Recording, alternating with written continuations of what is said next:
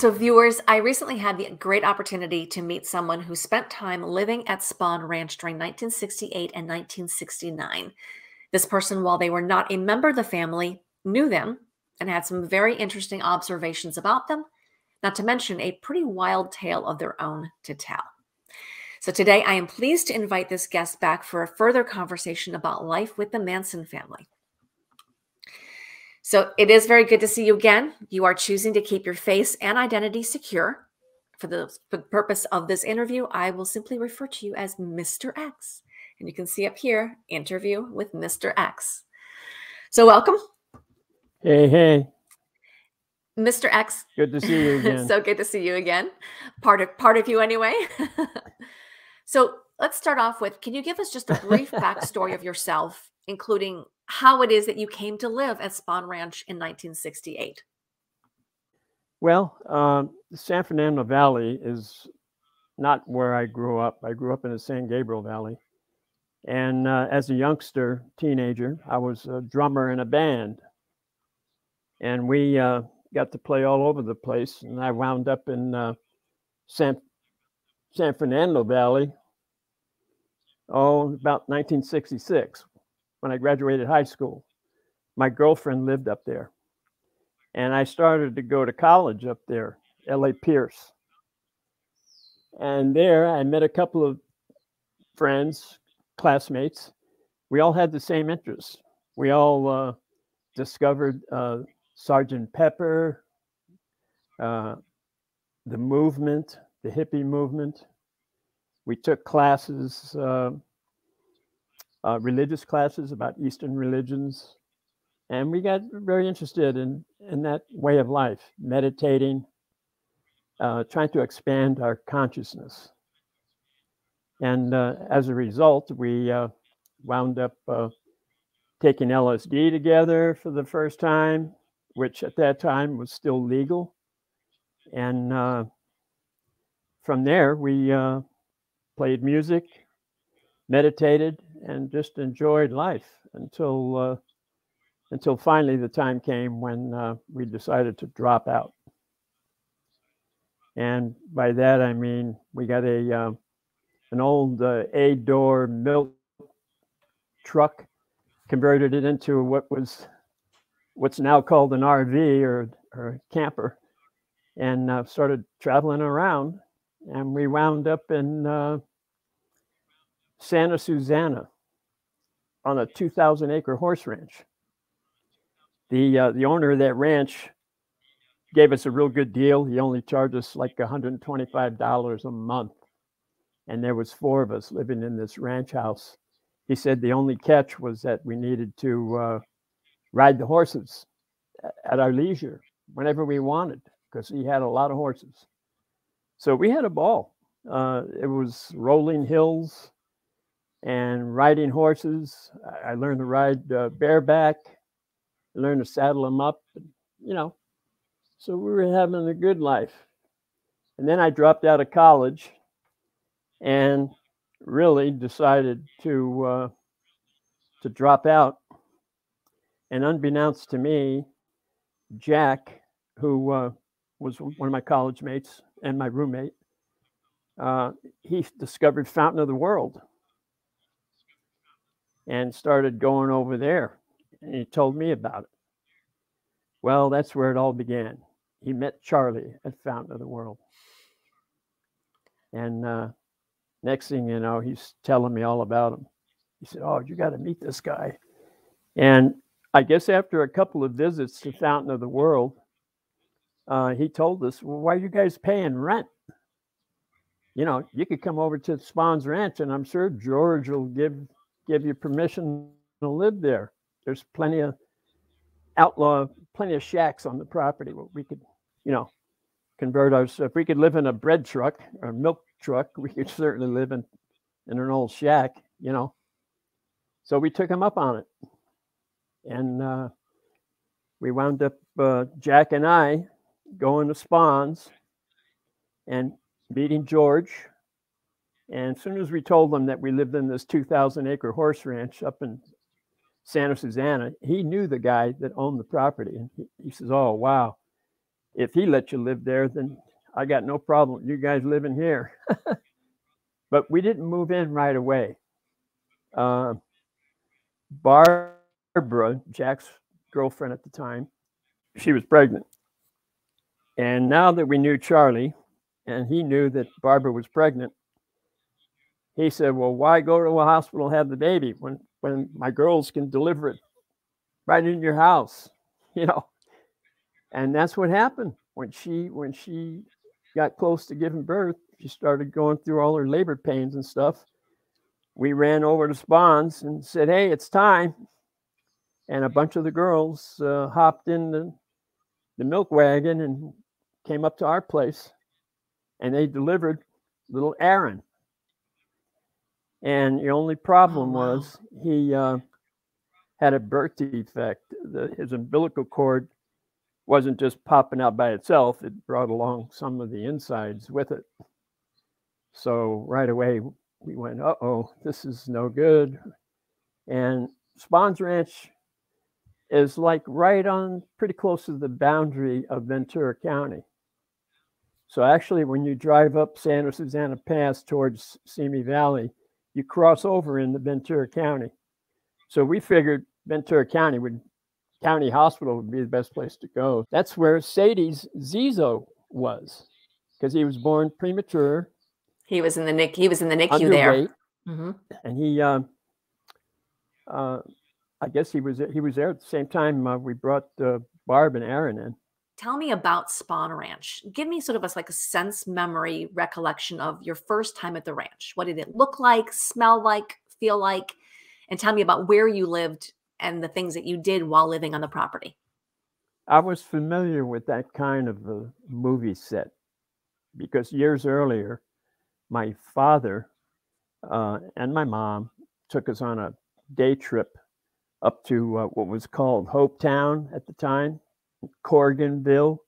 There was like, I think Iverson Ranch was in existence then too. They were like uh, movie sets, just like Spahns. So when I got the Spahns the first time, I, you know, I was kind of comfortable with, hey, gee, it's just like Corriganville, you know, just like Hopetown. Uh, but I didn't realize until recently, a few months ago, uh, I stopped by there because I had business in the area and I decided I'm going to go up to Santa Susana Pass and take a look. And I was floored. It was late afternoon. It was a beautiful, clear day, bright sun, blue sky, and these rock outcroppings Spahns Ranch and the surrounding hillsides were just, my jaw dropped. I'm like, wow, I didn't realize it was so freaking beautiful. I mean, it was very scenic. Mm-hmm. I said to myself, gee, I didn't realize how beautiful this place was. I mean, I was 19 years old when I lived there, and I knew it was an awesome place. Um, all the hillsides, all I could see was Hopalong Cassidy and the Lone Ranger, uh, because a lot of that stuff was filmed out there. Very peaceful compared to uh, the rest of the valley. I mean, just a few miles away, you were in the thick of it traffic, traffic lights, uh, the noise of uh, city life, and then boom, all of a sudden, here you are on Santa Susana Pass at Spahns Ranch, and it was like you stepped back in time. It was very quiet and peaceful. All you could hear were the horses and chickens and and goats and you know the birds. There, I mean, it was a haven for birds. There was a lot of crows and hawks and squirrels and and then gophers and snakes and whatnot. But I've always uh, been a nature kind of person, so that that that stuff really uh, excited me. I go looking for snakes, you know, uh, looking for uh, hawk nests so I could catch a baby hawk, and you know. But it was ideal. It was like, gee, we could live here for free and just be ourselves. And that's when uh, we got introduced to Charlie's group. Um, you know, and and his group, uh, it varied. Uh, there might have been at one time less than twelve people, around twelve people there, but there were times when there was like forty. You know, And yeah, knowing Charlie, the first time I met him, literally, he gave me the shirt off his back. He happened to notice my. You told me this story. Tell tell this story. This is this is interesting. Yeah, yeah, they were uh, uh, embroidered, just like his shirt. His shirt had some embroidery on it, and he went, "Wow, that's a those are far out pants." And I said, "Yeah, I like that shirt of yours." He goes, "You want to trade?" And I said, "Sure." so I took my pants off. Good thing that day I had underwear on, but. Uh, I gave him my pants and he gave me his shirt. I wish I still had that shirt, but uh, we were freaks. We were all freaks. Okay. We all had looked different than your normal run of the mill teenager or young adult, you know. And people looked at us like we were freaks.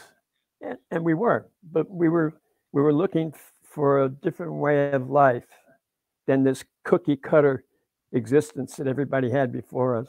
You know, my my parents and a lot of parents at the time, they fought in the war for our freedom. So we won the right to be free. We question everything. You know, if you're honest and, and you're forthright and you care about yourself and others, hey, that's all we can expect as, be, as human beings. So there was a lot of things going on then, just like there are things similar going on today uh, that we didn't agree with. But we weren't radical, you know. Uh, we just wanted our own little mm-hmm. piece of pie and we wanted to exist the way we felt how to exist. We weren't at the ranch 24 7, seven days a week. You know, uh, when we felt like going up to Big Sur, we'd go, or we go out to Joshua Tree, we'd go. And, you know, but staying there, we went through all kinds of changes. We, uh, at first, I had a Volkswagen bus, and Jack had a, a Volkswagen Beetle, and then we traded up and got the milk uh, milk truck, and then later on that wasn't big enough, and we wound up getting a 54 passenger school bus. Took all the seats out, and we were doing this right at the same time Charlie was converting his school bus. We uh, wound up uh, working on his bus, and, and he and some of his guys are helping us on ours. And that's how, that's how I got to interact with uh, Tex and Clem, Cupid, uh, Little Paul. We call him Little Paul. And of mm-hmm. course, I got to meet everybody else. I got to meet uh, and make friends with uh, Juan. Juan was a character. I mean, you know, Juan he Flynn. was into basketball. He'd have probably been pretty good because he was very athletic and he was super tall. He taught me how to ride uh, mm-hmm bareback. Uh, I tried it before and thought I was doing it right, but boy, he showed me some tricks that, uh, you know, all of a sudden I can go just as fast, you know, riding a horse bareback than I could if I was on a saddle. George, tell me about George Spahn. At first, you know, I introduced myself. Uh, we all did, and he was very cordial. He uh, he really didn't have any thing to say as much as uh, like you know I don't want you doing this or that. He pretty much got the run of the place. He said I appreciate it if you help help around, you know, like with the horses and uh, go riding because they need exercise. And the most time they, the most exercise they would get would be on the weekends, you know, when people come to rent them. Uh, but during the week there was a lot of work. And he had like 50 horses. So it was a lot of work, mm-hmm. you know. But we could slip in and out. You know, there'd be times when uh, I wouldn't even, you know, lift a flake of hay uh, for a week or two, you know. Somebody else was doing it, you know. I got the impression that the girls, especially Squeaky, uh, really was under George's wing and or vice versa and she looked after George. She didn't mm. want other people coming up and bothering him. I guess out of their own preservation. It didn't seem like he was totally blind because there was a few times I saw him walking down the uh, the boardwalk there in front of the Longhorn, by himself with his little dog out in front of him. And, and he wasn't tiptoeing with a cane, uh-huh. like, you know, he was walking. So he probably played that off. Tell me a little bit about some of the people that you were living with there at Spahn Ranch. Well, like I said, Jack, Jack and I were classmates, and uh, my girlfriend at the time, one of her best friends, was named Barbara, and we introduced uh, Barbara to Jack, and she just graduated high school, just just like uh, my girlfriend Sue and she took a liking to Jack and vice versa, and they were like inseparable. And they're still together today. This is like from 66 all the way to this present day. Yeah, it's great.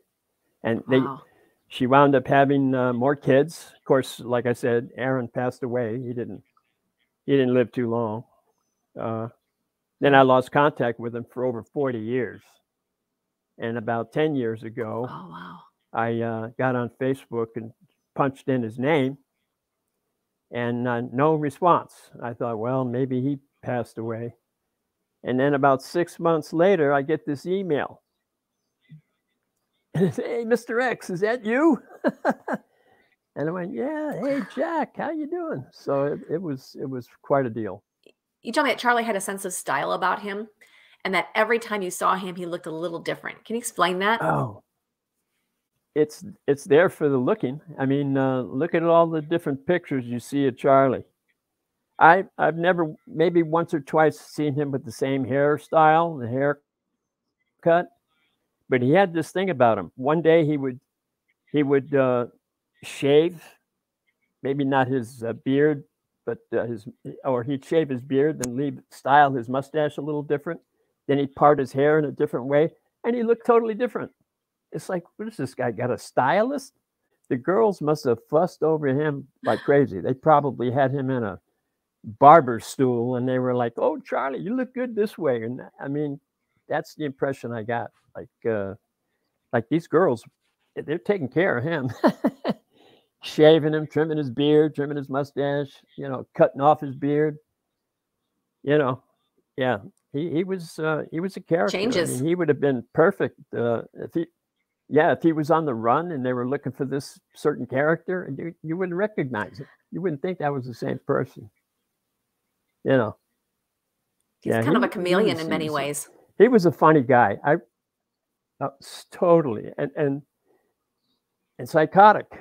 I mean, you know, he uh the poor guy uh, had such a bad life being tossed around like a luggage, you know. Uh, he was it was pounded into him that he'd never be a success in life. So he never he never got the work ethic. You know, I don't I don't think he ever mm. worked in a yes. place long enough to to file income taxes. You know what I mean?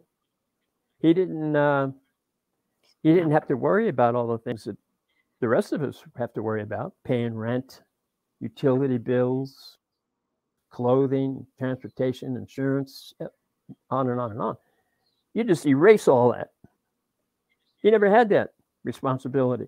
Let's face it, a guy that's whether he's five foot two or five foot six, 130, 140 pounds, and you're in the penitentiary. You eat, sleep, and drink there all the time, 24 7 and there's predators everywhere you look and they're trying they're out to prey on the weak.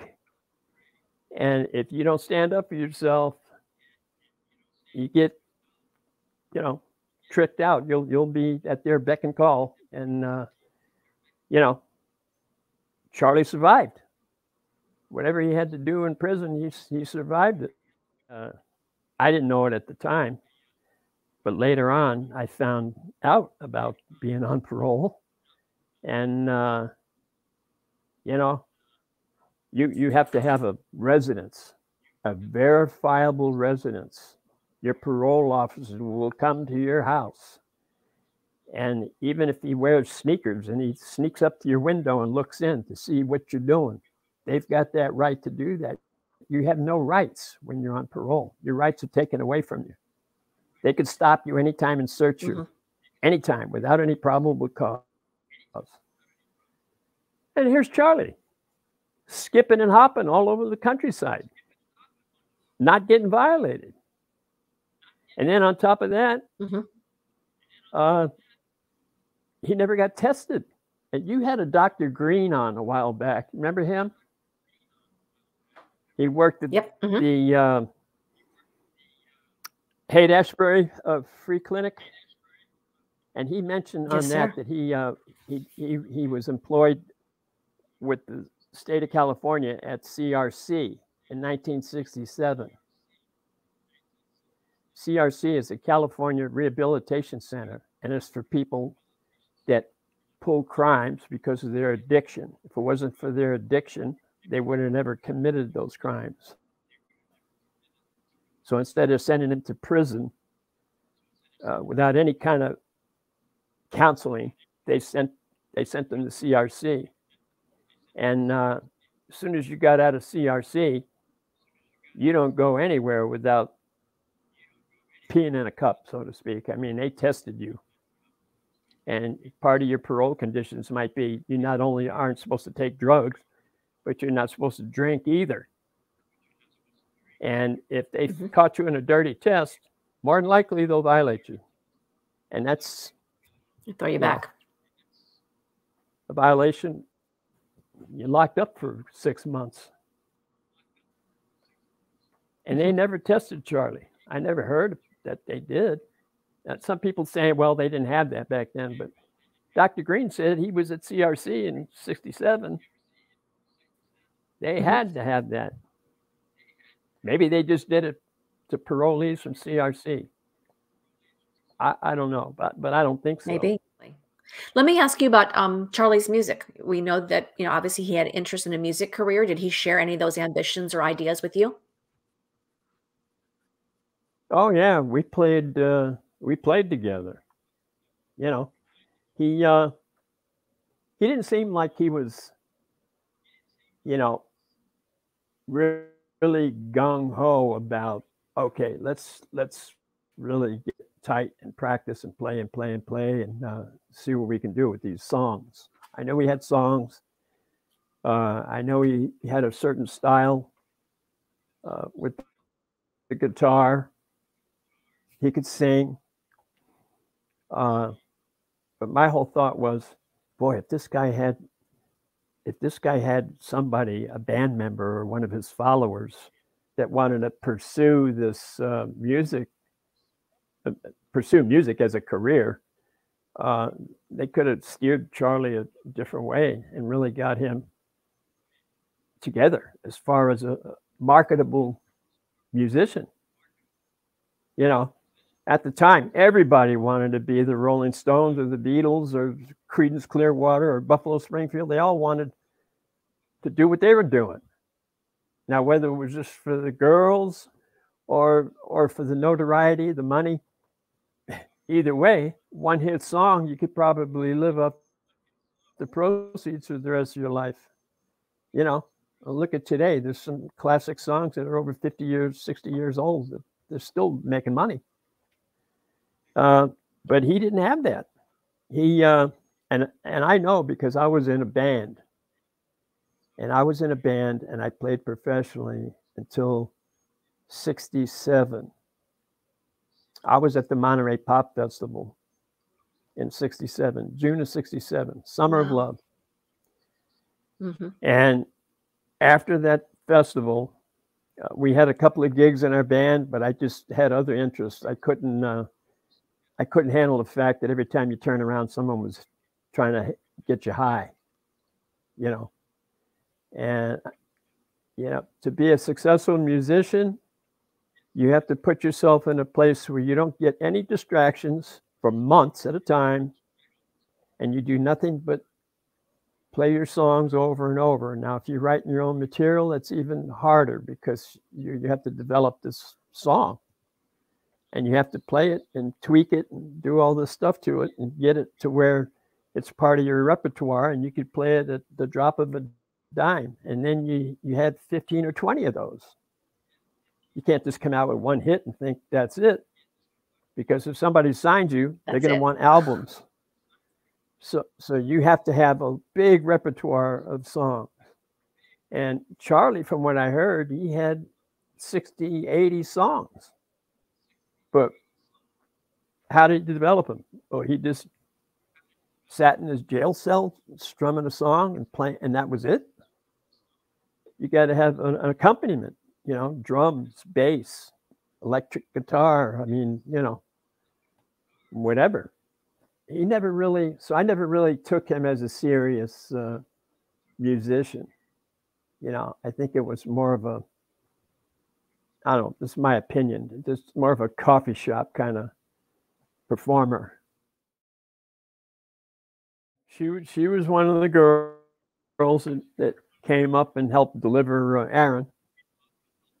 Uh, to me, she she had a little bit of a, I don't know, because she was older than the rest of us, a few years older. She she seemed to be more mature than the rest of them. You know, I think out of all the girls, she she was like, and, and people say this, she was she was Mother Mary. You know, she was the one everybody aspired to be. You know what I mean? They they because Mhm. she was a college graduate. She worked for you know for university. You know, she she was right there. She was part of the establishment. You know, she she was in the position where she could she could have made a lot of changes to the university system. You know, to the curriculum. I think. You know, and that's all. That's all we wanted to do. I mean, we wanted to change the world. You know, yeah, but she was uh, a little reserved. She wasn't outgoing like you know. Most of them, uh, you run into them walking walking uh, down the road. I mean, the outlaw shacks where we lived was about, I'd say, a quarter to a half a mile from the main street in Spahns Ranch where the Longhorn Saloon was, and you know, uh, and the terrain of the ranch, they really changed it from that fire because there was a road, what what is now a little path that that goes uh, north. Used to be a road big enough for a school bus to drive down, and it was it wasn't hilly; it was flat, you know. And uh, so we would walk from the shacks to the Longhorn, and uh, uh, we run into some of the gals. That's about the extent of it. Uh, most of the time, they, when I'd see them together, there'd be Mary, Lulu, Gypsy, uh, Sadie, Yeah. you know, Squeaky, and a couple others that uh, I remember. Um, Tex and Cupid seemed to hang together. They had uh, they had a special interest, and Tex or Cupid and uh, Little Paul. Now, as far as musicians go, they they were, you know, they had a little more eye on the ball, so to speak, as far as what it takes to be a, you know, professional musician. So I think the music part of it, that's why Cupid and uh, Paul, you know, hit it off. And uh, Tex too, but I don't think Tex played anything. I don't think he was a musician at all. You know, I don't think so. But Do you, they did a do lot you of remember work on Charlie being particularly close with anybody? vehicles. I'm sorry. Go ahead. Yeah, they had a lot lot of Uh, tinkering with the engines and so forth. hmm Yeah, yeah, there was a lot of that going on because I remember. I'm surprised that most of the vehicles that, that they had driving back and forth to Benedict Canyon in one night. Uh, it was a miracle that they even made it because half those cars that they had smoked, burned oil. I mean, you know, these are old clunkers, you know. Uh, but no, Charlie, uh, when you think about it, he had quite a responsibility. I mean, as far as being Mhm. a leader, uh, there was at one time 40 people. How do you feed 40 people? They, they didn't have three meals a day. And no job. they would wake up and be lucky. Yeah, that it would be a full time job. And then uh, the way all the documentaries and all these stories written about them, uh, nobody really addressed the logistics of taking care of 30, 40 people with no jobs. They had no, you know, income coming in. They would, many a times, uh, they would try to get us to join their family. And when this happened, when we had people join our family, whatever you had became was donated to to our cause. And uh, Charlie was the same way. If you wanted to join, you had to whatever you had at the time became property of the family. And what can you offer the family? When the girls would come up, he just didn't take any old girl and say, Oh, yeah, you're cute enough. Come on, join the family. Uh uh She had to prove herself. They'd send her out with some of the other girls and they'd go dumpster diving and see how she could get over on some of these uh, people that worked in produce and, you know, I forget who it was. One of the gals, it might have been Ruth Ann when she first when she first uh, joined up. They went dumpster diving, and uh, one of the produce guys came out, and she started talking to this guy, and all of a sudden, uh, he's bringing out boxes of produce and putting it in their car. They didn't have to go in the dumpster to get it. They got it from him before it got to the dumpster, and he was giving them good stuff. Wow. You know, there'd been many a times when Mhm. when a produce truck would show up on Spahns, and all the girls would run up to, hey, this is that guy we met, you know, and he'd open up the back door, and out came 50 pound sacks of flour, 50 pound sacks of uh, rice. I mean, we lived on brown rice for practically the whole time. Whatever vegetables we can get to go with it, brown rice was the base. You know, uh, we would get it in 50 pound hmm bags. But that's the way. That's the way it was. If you couldn't come up with those, that kind of commune. contact with bringing in food, yeah, it, it was. It was mind-boggling how they how they kept bringing in enough food to feed everybody. It has been said that Charlie closely controlled reading material at the ranch. Can you confirm this? Do you remember anyone reading books other than the Bible during your time there? You know, the only thing I ever remember is that Charlie had an old copy of uh, Stranger in a Strange Land, and he had it in his back pocket. And this this was like his second Bible because he would, uh, I mean, he, he named uh, from Mary's Kid uh, after the main character in that book. But other than that, and other than the Bible, I, I never heard of anybody, you know, reading any books or not being able to read books. I mean, Mhm. we had a couple of uh, books where we never really read much. You know, there was always, There were other things other going on at the time do. other than reading, basically. Yeah. Yeah. What about music? yeah, we played music together. You know, we'd sit around a campfire at, at night and play. Uh, I I wound up. Uh, I was a drummer and I had all this drum equipment and I had to lug that all around. So whatever vehicle I had, it had to fit in there along with the rest of our stuff. So I wound up giving uh, Cupid, Bobby, we always called him Cupid, uh, a set of uh, Gretsch drums. And in turn, he gave us a sitar. And Jack was a guitar player, Oh, so wow. he wanted to really learn the sitar. So this was the perfect time.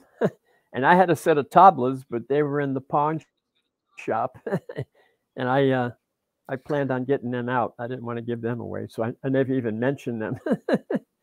you know, but the drums that was a relief because I didn't have to deal with uh, lugging them things around. I wasn't playing, you know, anymore.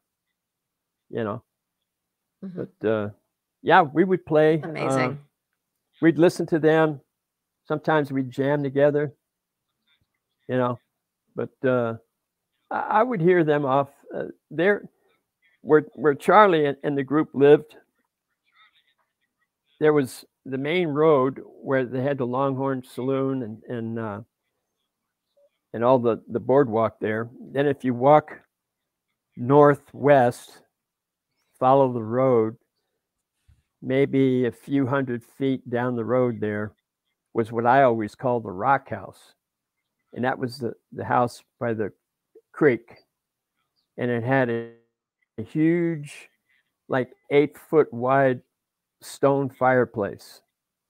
And so on the outside, you'd see all the stones that would go up to above the roof line.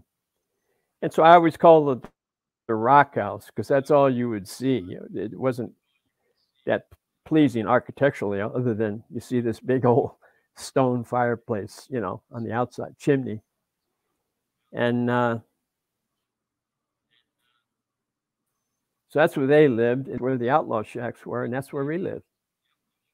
So when they'd come up to see us, they had to walk up the hill and we'd see them coming, you know, for quite a ways, you know, 500 feet away, we'd see them coming.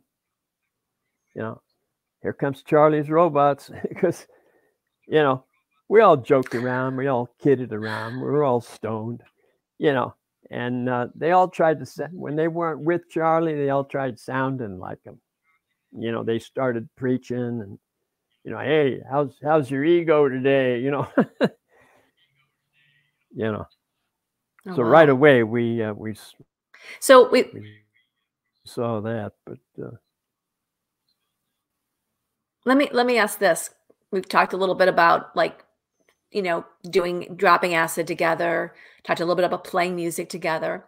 So I have to ask: Did you witness, or were you aware of, or involved with, if you want to share, uh, any of the group sex among the family? Oh, huh. well, I knew that they uh, they participated in uh, in group activities. Now, as far as anything other than heterosexual encounters, never once heard of anything like that even mentioned. I don't know where all that came from. Mm-hmm. I even heard Paul, uh, some interviews with little Paul saying that that uh, Charlie had, uh, you know, insisted that the guys would hook up with the guys. And I never heard of that. But as far as sex with uh, with the girls, with his girls, that was a no-no. Mm-hmm. Now I never heard anybody ever mention this in any of the documentaries or any of the books that you couldn't have relationship with with uh, you know with the girls unless you were part of the family with the exception ah. if i was some big record producer and uh, you know he obviously is not going to try to sway this guy into dropping everything he has and coming living in a sleeping bag you know then then he would hook the girls up you know with them but as far as at home on the ranch uh-uh unless unless he had some purpose, like with the straight Satans.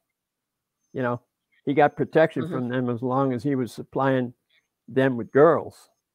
You know, but there was a lot of times when uh, the girls would come up and you know uh, they'd ask if I had any smoke, and I'd pull out some smoke, and we'd all go hike up into the hills and sit on boulders and lay around and smoke and you get to talking and getting to be friendly and you know they were cute and some of them thought I was cute and you know there was a few times when uh, yeah I would have liked to have hooked up with some of them but uh uh-uh they said, oh you you should join the family. Then we, then we could fool around anytime.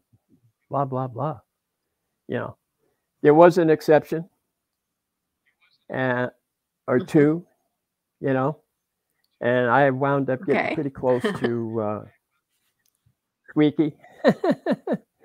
she she was cute, very very smart. She had some insight to her. She, uh, you know, it's a shame because uh, she went one way and I went the other way, and uh, I always thought that uh, if she'd have went the way I went, she'd have really had a lot to contribute. You know, she would have been a positive force, really. She would have been successful at whatever it was she wanted to do. And how she got tied up in in the, you know, being a house mom for all those uh, Aryan Brotherhood people and uh, prison guys just getting out of prison, and you know, I mean, come on. I thought she was more than that. When I knew her on the ranch, Mhm. she was this innocent, cute, young lady, you know. And I kind of didn't Mhm. agree with uh, why she spent so much time up at George's. You know, I mean, here's a guy he 60 years older than her. But I guess she had a job to fulfill, you know. Charlie uh, needed to make sure that they had a place to stay. And as long as she was at George's beck and call, you know, then everything was uh, copacetic, you know. But yeah, there's many a times we You told me about wander um, off and uh, you know mhm. what's that enjoy each other's company. You guys would enjoy each other's company. yeah yeah you know yeah Mhm. not that i'm kissing and telling but yeah we she, she bent the rules let's just put it that way uh, bent them she broke them. You didn't have to be in the family to enjoy her company. Yeah. Yes. Tell us tell us what happened with this situation with Susan, oh yeah with Sadie.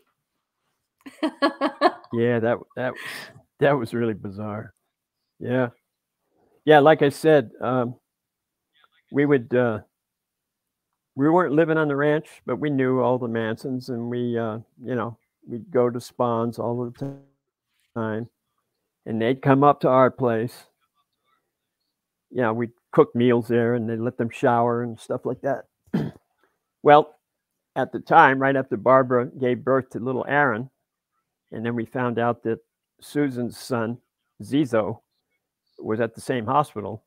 Uh, we told her, hey, when we're ready to go, you can come with, you know. She didn't have to hitchhike. And so we, at the time, we had that milk truck. And Jack and Barb and me and Sue would drive up to Ventura uh, County Hospital just to see the babies, you know? And I'm in the back, she's in the back, and the, the back of the milk truck was all tapestry covered mattresses and big pillows and uh, you know I don't think we had a hookah but a pot. And I rolled up a big fatty and uh, we were smoking pot and passed it up to Jack and Barb and the whole place got all full of smoke and uh, and all of a sudden I'm sitting in one corner in the back corner and she's sitting in the front corner behind behind the driver's seat. And i'm sitting in, in the very, back. And all of a sudden her uh, she got very comfortable and her legs uh, opened up. And she made a motion her, her finger went like this to me like, come here. and she called me over and she she had lifted her arms up you know like she put one hand behind her head and, and the other arm reached out with her index finger signaling me to come over come over here you know she had, and she had her legs spread Mhm. and uh, when she lifted up her arm all i could see was this big glob of sweaty black armpit hair and it was uh it was kind of a gross gesture and i wasn't ready for it and uh, you know, there were a lot of a lot of things in the senses that interfered with it. You know, like the odors and uh, mixed with the pot. And, uh, I kind I just kind of signaled her, no, not now. but I'll never forget that. Then, so it was not it was not a turn on for you. no, it wasn't. That uh, it, it was just one of those things. But uh, a couple of years later, I happened to run across a picture of her uh, when she worked, when, when, she was hooked up with this Anton LaVey up in Frisco, and they were doing satanic, uh, some satanic things. She uh, mm-hmm. played the part of some witch or some something, and she was naked. And uh, I looked at her, I looked at her twice. I went, "Wow, boy! If I'd have known she looked like that, I might have changed my mind." But you know, everything else was wasn't right, so it didn't happen.